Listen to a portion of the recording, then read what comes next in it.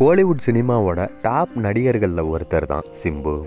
ஏராளமான வெற்றி படங்களை கொடுத்துருக்க நடிகர் சிம்புவுக்கு கோடிக்கணக்கான ரசிகர்களும் இருக்காங்க.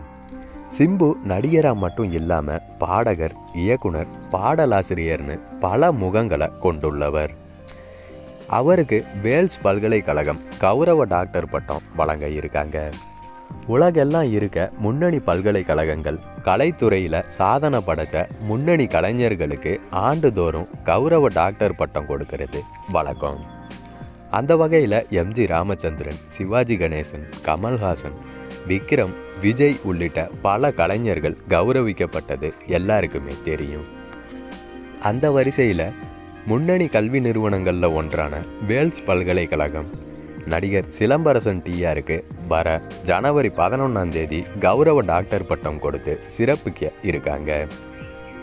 இளைஞர்களோட கனவுகளையும் தொலைநோக்கு பார்வையையும் கணக்கில் வச்சு தரமான கல்வியை வழங்கிட்டு இருக்க வேல்ஸ் பல்கலைக்கழகம் பல துறைகளில் சாதனை படைக்கிற பலருக்கும் இதே போல கௌரவ டாக்டர் பட்டத்தை ஒவ்வொரு வருஷமும் கொடுத்துட்ருக்காங்க இது பற்றி வேல்ஸ் பல்கலைக்கழகத்தோட நிறுவனரும் தலைவரும் வேந்தருமான டாக்டர் ஐசரி கணேஷ் என்ன சொல்லியிருக்காருன்னா மரியாதைக்குரிய நடிகர் சிலம்பரசன் டிஆர் அவர்களுக்கு இந்த கௌரவ டாக்டர் பட்டத்தை கொடுக்கறதுல பெரிய மகிழ்ச்சி அடைகிறோம் எங்கள் பல்கலைக்கழகத்தில் இந்த விருதுக்கு தகுதியான நபர்களை தேர்ந்தெடுக்கிறதுக்குன்னு ஒரு குழு இருக்காங்க.